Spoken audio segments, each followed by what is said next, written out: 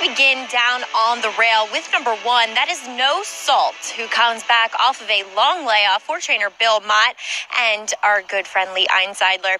And No Salt is one who's trying the turf for the first time as he uh, debuted going five and a half at uh, Saratoga.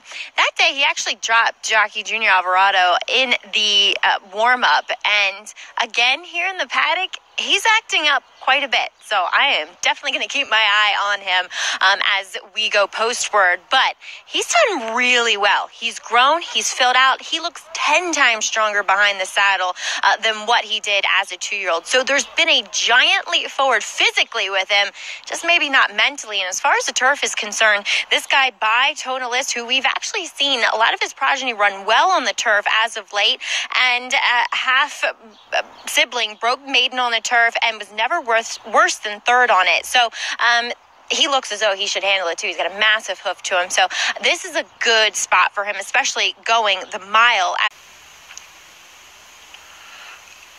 And they're off.